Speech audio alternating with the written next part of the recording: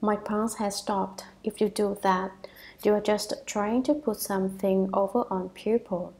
Who would have expected that when you took your counterfeit bills to the bank, people would immediately recognize them for what they were? In the first dhyana, the pulse stops, and in the second dhyana, it's the breath that stops. There isn't even any breathing, but if you think, I feel like my breath has stopped, if you feel it has, it doesn't count. If you aren't aware of it, if you are really dead, then that counts. If you haven't really died, your breath hasn't stopped. When it stops, basically you have no self, no self to know you have breath. If you wish never to die, you must first become a living dead person.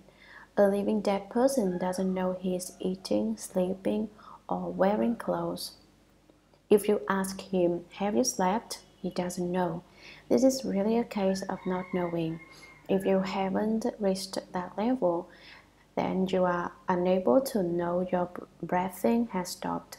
And it's not that you feel like you're not breathing. Any such feeling is a false one, an erroneous impression. There has to be a good knowing advisor who takes one look and see you have reached that level, that your skill has reached that point. But even when it has, it doesn't count as anything fantastic. It's not occasion for saying, In heaven above and on earth below, only I am honored. That's not so. It's just a state, and reaching that state doesn't mean very much. Don't say, Do you see me? See how terrific I am? This is truly meaningful. What meaning does it have? If you don't eat, you'll starve to death just the same. That's simply knowing no shame. In the second dhyana, the breath stops, and in the third dhyana, thoughts stop. You don't even have awareness. You don't have anything at all. It is truly not to know. What's the point of that? You ask. Well, what's the point in your being alive? This is just kung fu. When you arrive at this state, you aren't greedy. You have no greed for wealth and you don't seek for fame, and you immediately put down sex, food, and sleep. If you haven't put them down, then you haven't reached that level. For when it happens, you aren't greedy for anything and you don't have any impediments or obstructions. Thoughts stop. You don't think. Have any of you reached this level? If you have a wife, you can't put her down. The same holds true if you have a husband or children. If you have sons, you can't give up the wish for daughters, or if you have daughters, you can't put down the wish for sons. If you have the one, you want the other too. Look at the kinds of false thoughts you are striking up, and you claim to have attained that level. You haven't. It's not at all easy. Yet, when you do reach that level, there is no great use in it. You can't be smug like the self-made patriarch who came here a few years ago claiming to have opened enlightenment. I don't know what kind of enlightenment he had opened. Thoughts stop in the third dhyana, and in the fourth dhyana, they are emptied. So the progression is the first dhyana, the ground of joy and separation from production. The second dhyana, the ground of joy of production of samadhi. The third dhyana, the ground of wonderful bliss of cessation of thought. The fourth dhyana, the ground of purity of renunciation of thought. When you reach the fourth dhyana, there fundamentally is not thought, and you are just about to merge with the empty space. You haven't quite united with it yet. That is the ground of purity of renunciation of thought. Someone once tried to claim that Buddhism was true communism. That kind of thinking is mistaken. Buddhism has no party or factions to it. It is world transcending Dharma, not worldly Dharma. Ordinary and average people have parties and factions, but there are no parties in transcendental Dharma and no sects. Anytime there are such things, it's because stupid people have dreamed up those problems. When one studies the Buddha Dharma, it is with the intention of transcending the world and to have great wisdom, which basically cannot be compared at all with holding parties and factions. Therefore, all the worldly dharmas are within the Buddha Dharma. The Buddha Dharma transcends worldly dharmas, and they can't be treated as if they were alike or even discussed in the same terms. If you can't claim fish eyes are pearls, you can't claim fish eyes are pearls. If you do, you're simply cheating yourself. We who, who study the Buddha Dharma should sweep away any notion of factions and far transcend the way the average person thinks. The Dharma doors of Buddhism are inconceivable, while if any faction or party could be compared to Buddhism, then Buddhism fundamentally would not be world transcending Dharma. Whether you study the Buddha Dharma or not, you really should clearly recognize this point. Buddhism is talking about ending birth and death. Anything that has parties and factions is not Buddhism.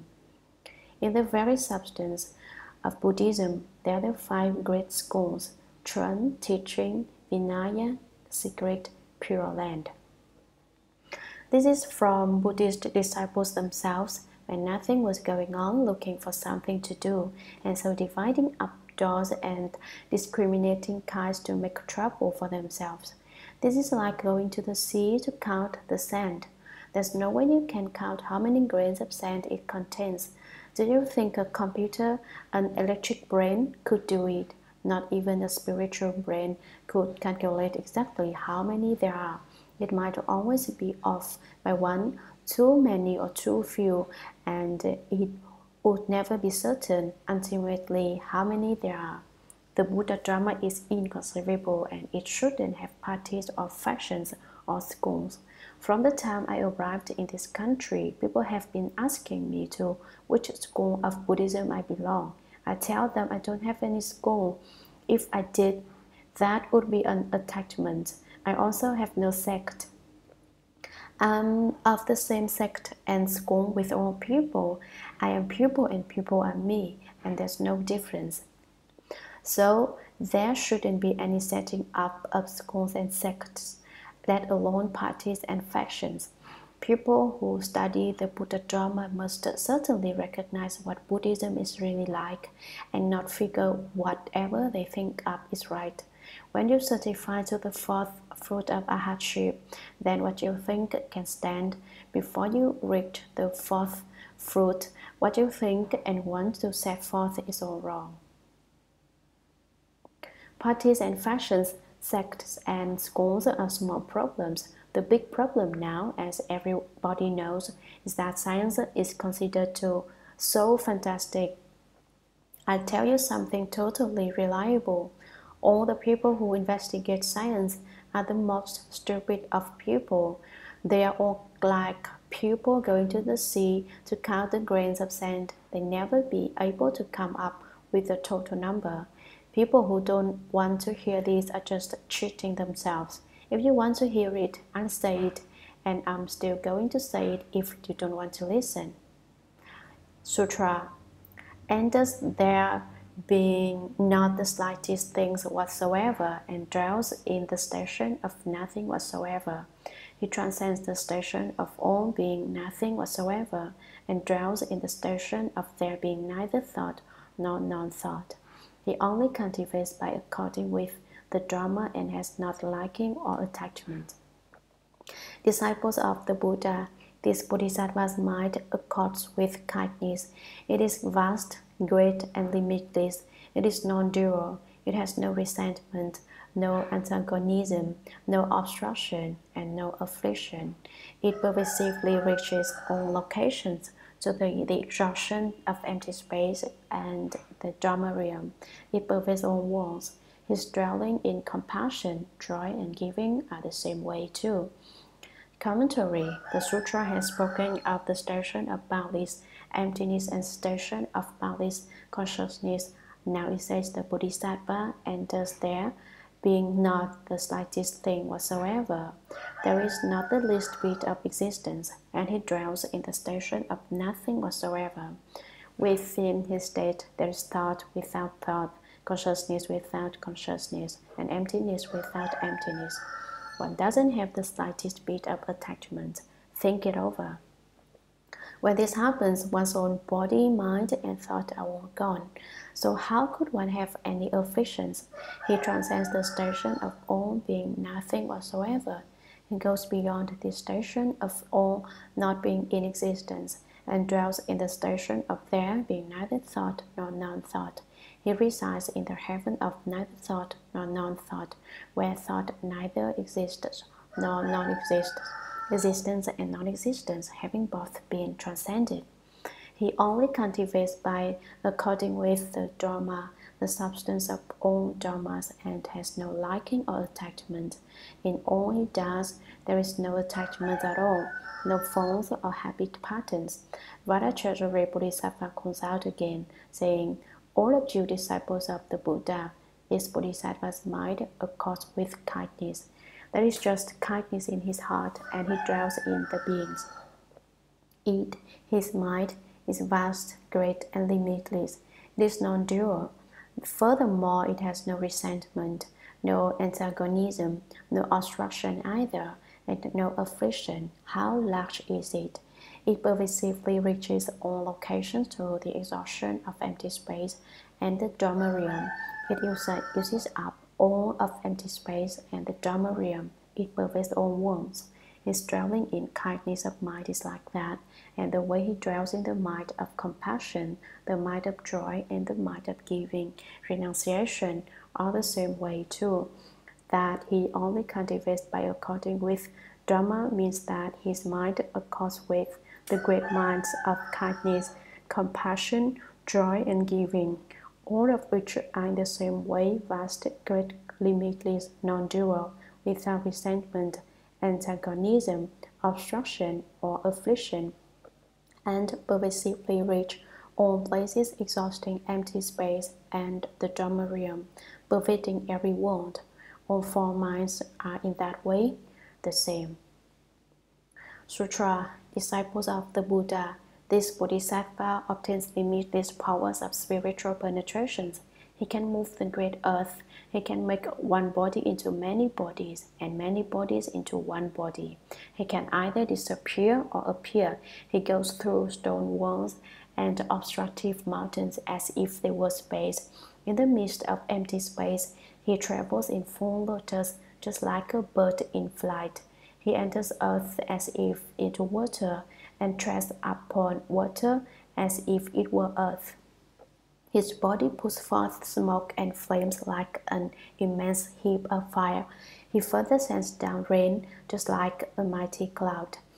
The sun and moon in space have tremendous awesome might, yet he can touch and rub them with his hand.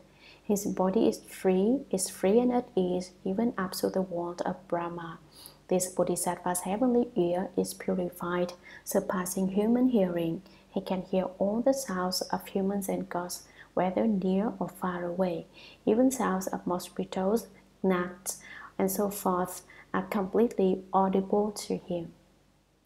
Commentary Vajra Treasury Bodhisattva calls out once more all of you disciples of the Buddha, this Bodhisattva of the third ground, obtains limitless powers of the six types, six types of spiritual penetrations, that is, the penetration of heavenly ear, the penetration of the heavenly eye, the penetration of others' mind thoughts, the penetration of past lives, the penetration of the extinction of outflows, the penetration of spiritual fulfillments.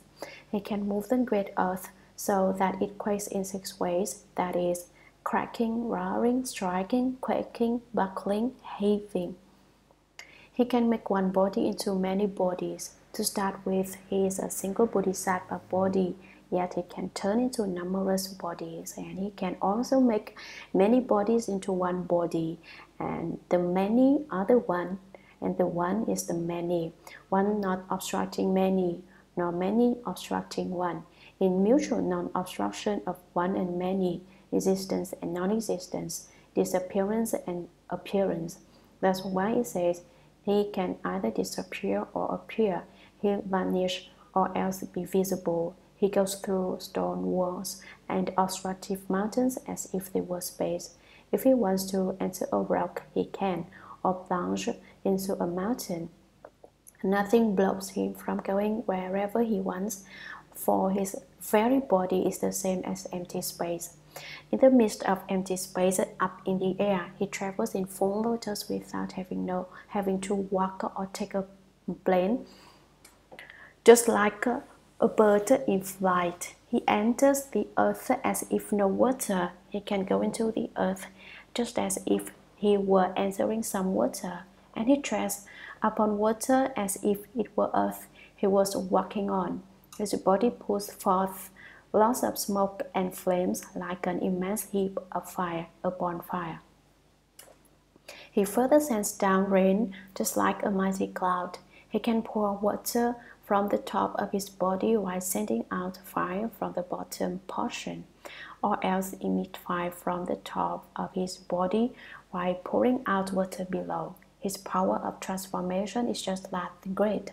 The sun and moon in space heave tremendous awesome mind, yet he can touch and rub them with his hand.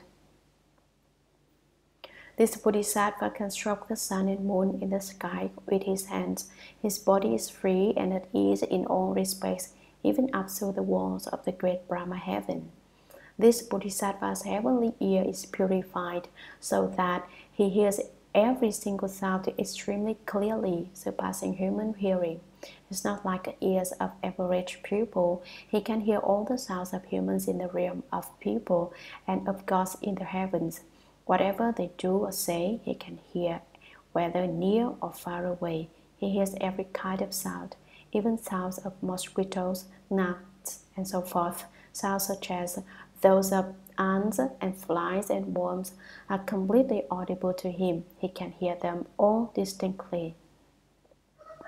Question I have a question about whether a particular method of helping to rescue animals would be workable. Specifically, animals can be trained to choose one of two pictures, to go to one of two pictures or one of two symbols by being given food for going to one. So after a while, they go to that pic- to that particular one, or they can be trained to go to one type of image now, if an animal were trained to choose to go to a picture or an image of a bodhisattva or a Buddha over a period of time, would this, help, would help to plant a seed which would eventually lead to the animal's enlightenment? Answer If you feel it will be to their advantage, you can trick them. If it's harmful to them, you can't. But if it's beneficial to them, you can do it so they gradually understand, as he said if you wish to make them enter the Buddha's wisdom, first you have to bait the hook with something they like. You can do it only if you have good intent. To say it's tricking them is just joking. Everything most people do is harming others to benefit themselves. People who cultivate the Bodhisattva way and practice the Buddha Dharma must be willing to be harmed themselves for the sake of aiding others. If something is of no benefit to one personally, but of benefit to all other living beings, one should exhaust one's efforts to do it. If it's something that has no benefit for other beings but only benefits oneself, no matter what, one shouldn't do it. Question In the Dharani Sutra, I read that it is beneficial for plants if one mantras water 21 times and put it around the outside of the garden to show the way best. Would dear bot please tell us the proper way to put the water around? Answer. You just have to use pure water and recite the great compassion mantra over it. You don't need some special method and anyone can do it. As you recite the mantra, contemplate the Kuan Yin Bodhisattva, making the water efficacious and the use you want to make of it. You just need to do it with true hearted sincerity. Have you forgotten how one of the people here at Gold Mountain Temple recited the Great Compassion Mantra 108 times a day for his father who had cancer and the cancer was killed? He didn't take medicine or have any kind of operation or shots, yet he got well. That was a response. If anyone had an incurable illness and you recite the great compassion mantra with a true mind, it will be cured. Sutra this bodhisattva, by using the knowledge of others' minds, knows the minds of other living beings as they actually are. That is, if they have minds of greed, he knows their minds of greed as they actually are. If they are free from minds of greed, he knows their freedom from minds of greed as it actually is. Whether they have minds of anger or are free from minds of anger, have minds of stupidity or are free from minds of stupidity, have afflicted minds or unafflicted minds, have meticulous minds or negligent minds, great minds or limitless minds, uncomplicated minds or complicated minds, scattered minds or unscattered minds, concentrated minds or unconcentrated mind, liberated minds or unliberated minds, unsurpassed uh, minds or unsurpassed minds, defined minds or undefined minds, in expansive, expansive minds or non-expansive minds. All of these he knows as they actually are. The Bodhisattva in that way with the knowledge of others' minds knows the minds of living beings. Commentary This Bodhisattva who has been certified to the, to the third ground is capable of using the knowledge of others' minds Right now, every single person has the knowledge of others' minds. It simply has not revealed itself, so most people don't know what other people are thinking. However, if you cultivate and rid yourself of defilement, the knowledge of others' minds will appear as a matter of course. We ordinary beings each have that knowledge, but it's not especially clear. For example, you can often wonder that what someone else is thinking or is about to say and guess correctly. If you guess right, you've known their mind. But if, for instance, you think a person intends to go north when eventually or when what actually they headed south, when you guessed wrong, then you guessed wrong. It's like dialing a wrong number, reaching the wrong person on the phone. In that case, it's not the knowledge of others' minds, but having the wrong false thought about what others are thinking. You could even say it's like taking the wrong bus, plane, or train, perhaps wanting to go to New York, but ending up in Seattle instead. In that case, your knowledge is unclear, but if it were accurate, it would be the knowledge of others' minds. The reason we don't have that accurate kind of knowledge is that we don't use all our wisdom, but only a slight amount of it. An analogy will make this clear. Say, knowledge of others' minds is the actual person. If you don't see the person himself, but just see his shadow and think the shadow is this or that, that's not the knowledge of others' minds. The knowing we employ right now is like the shadow, and also as when something seems to be the person but is not.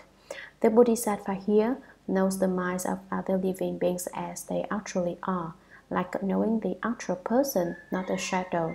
He knows what other people's thoughts are like.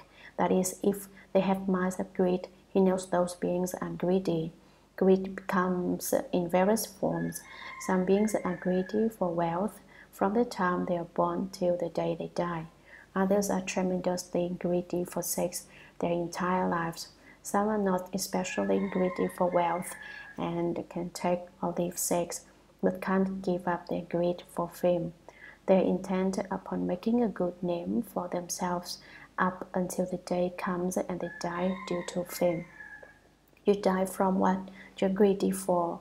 If it's wealth, you die from that, and sex is what kills you if that's the object of your greed. Fame's the same. There are some people who don't especially care about wealth or sex or fame, but who are excessively greedy for delicious food. Anywhere they go, they want to have good food and forget everything else if they get it. This includes things like chocolate, coffee, wine, cigarettes, and candy. Even when they age and die, their greed continues. A case in point in Su Manshu, the Chinese monk who wrote such brilliant essays. Intelligent as he was and as uninterested, no doubt, in wealth, sex, and fame, his greed for food was considerable. As it turned out, he died of gluttony. Then you have another kind of person who can take or leave wealth, sex, fame, and food, but is greedy for sleep. If they sit down to meditate, they immediately start to snore and even fall asleep standing up. See what greed for sleep can be like. They never feel they've had enough rest. The more they sleep, the more they love to sleep, and as their love for sleep increases, so does the amount they sleep. They sleep and sleep from the time they're born until the time they die, yet still haven't slept enough. He, the Bodhisattva, knows their minds are great as they actually are. He has an accurate perception of them. If they are free from minds of greed, he knows their freedom from minds of greed as it actually is. There are living beings who once did have greedy minds, but who were able to apply their efforts to cultivation and leave those minds of greed behind. The Bodhisattva also has accurate knowledge of them. Sometimes it happens that as they rid themselves of greed, anger arises. They feel displeased with everyone, and each hair paw of their bodies is a launching pad for an atomic bomb. Bump into any of their hair paws and that sets off the bomb. They get angry. Whether they have minds of anger, which of course is a fault, or have been able to leave behind their bad tempers and are free from minds of anger, the Bodhisattva knows them as they actually are. If they have minds of stupidity or are now able to be free from minds of stupidity, the Bodhisattva knows that too. They may have afflicted minds or have freed themselves from afflictions to have unafflicted minds. They may have meticulous, careful minds or negligent, sloppy minds. Theirs may be great minds or limitless minds or uncomplicated, non-complex minds or complicated, intricate minds. They may have scattered, chaotic minds or unscattered minds with samadhi, concentrated minds which are unscattered or unconcentrated scattered minds. Maybe they have liberated, free and easy minds or unliberated, unfree, uneasy minds. They may have unsurpassed minds, such as those brought forth by bodhisattvas, or unsurpassed minds, which are those of the Buddhas, defined minds of ordinary beings or undefined minds of sages. Whether they have broad expansive minds or narrow non-expansive minds, all of those, all of these he, the Bodhisattva, knows as they actually are. All the various thoughts which occur to living beings are completely known by the Bodhisattva. The Bodhisattva, in that way, with the knowledge of others' minds, knows the minds of living beings.